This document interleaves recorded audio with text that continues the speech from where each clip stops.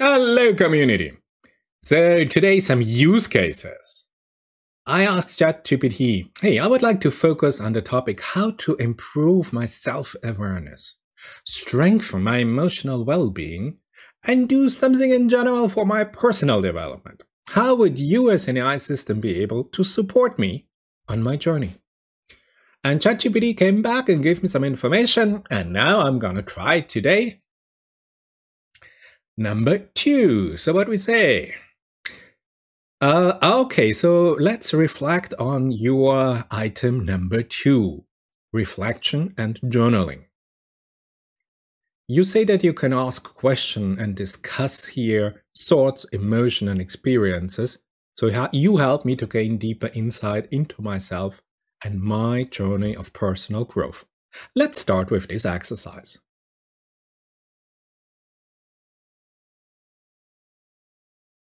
So let's see what he comes up with.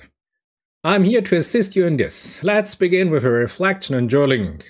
Take a moment to find a quiet and comfortable space in front of your computer where you can focus without distraction. Where's my coffee? Once you're ready, you can proceed. Ready. Reflect on your personal growth journey. Oh, that's it. That's a, that's a sad chapter.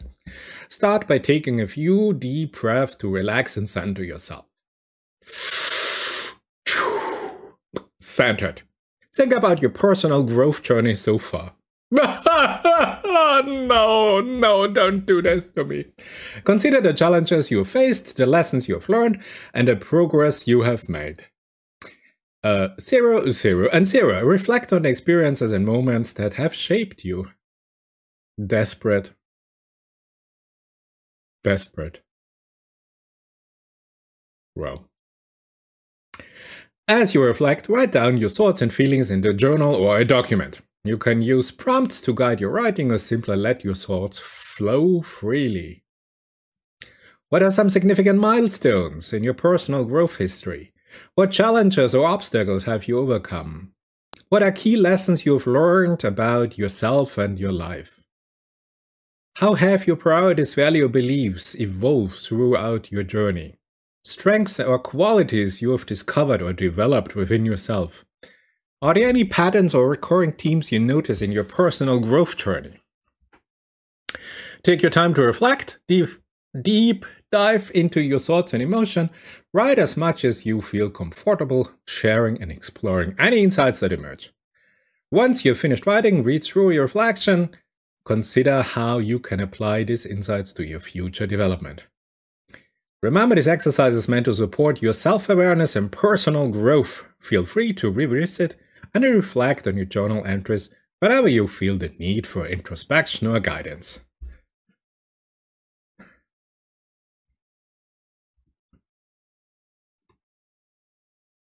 Okay, so let's start with journaling. In this scenario, I am a 80 year old man, comma, and in my last days, I'm trying to make some sense of my life by starting a YouTube channel.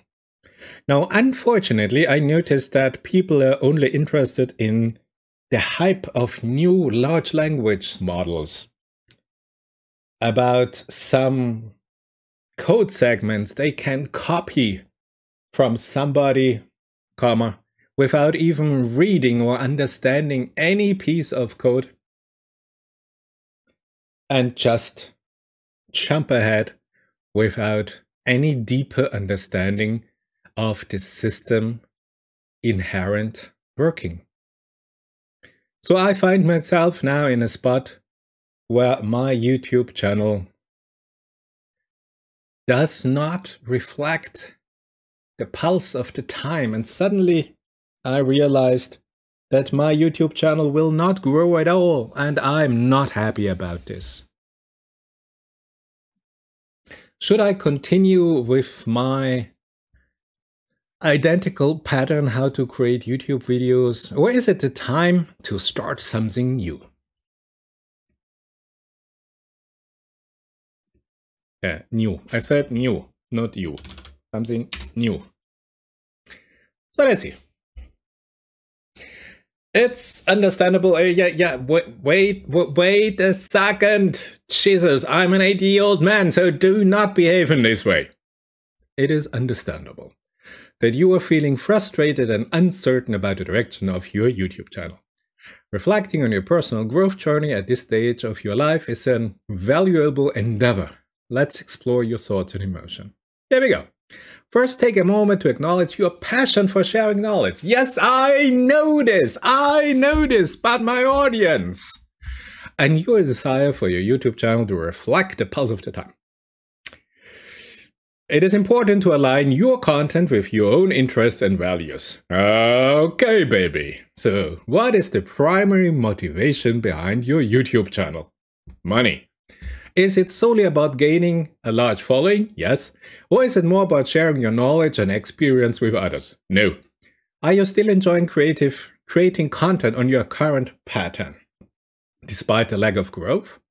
Yes, I do it for myself and every day I learn something new. Is it fulfilling for you on a personal level? Oh, uh, well, I don't know. When I produce the videos, yes. But the next morning when I come down and I see nobody watched it, no. Are there any aspects of your current content that I genuinely enjoy creating and want to continue exploring? Do I enjoy it? No, I'm desperate. Are there any alternative content ideas or approaches that align more closely with your own interest and passion?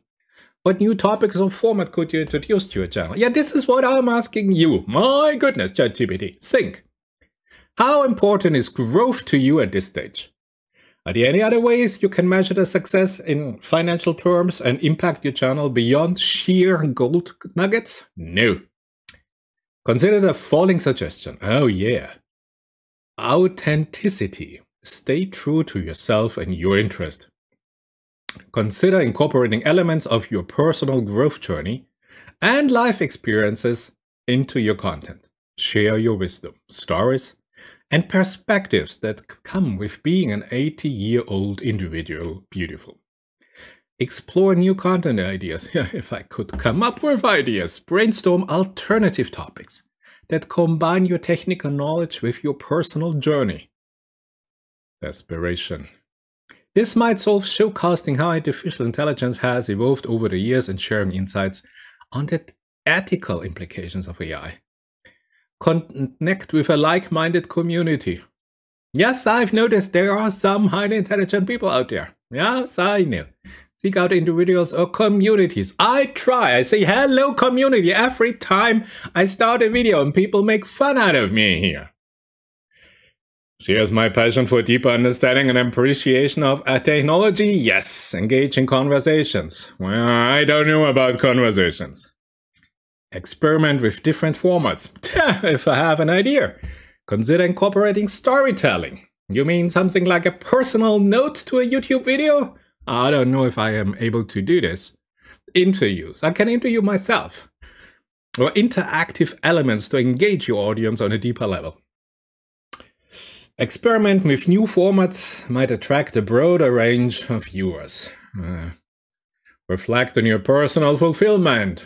Should we have some joy making a YouTube video? Yes, absolutely. Remember that the joy and the satisfaction you derive from creating content should not solely depend on external validation. Well, you know, I was brought up as a little boy, and uh, yes, focus on creating content that brings you happiness and a sense of fulfillment, regardless of the size of your audience. Okay, okay, okay, I can, I can live with that. Yeah, okay. Ultimately, the decision to continue with your current pattern or start something new rests with myself. Take the time to reflect on your goals, interests, and personal fulfillment. Trust your instincts and choose a path that aligns with your values and brings you the most joy and satisfaction. Yes, I'm looking for joy and satisfaction in my YouTube videos. But unfortunately, those stupid YouTube algorithm and code evaluation sequences and what the heck do not appreciate my unique knowledge that I present to the world. okay, maybe it is time I have to change myself a little tiny bit and become more open and uh, give my YouTube channel a personal touch and maybe even, yes, I don't know. Any further recommendation from your side?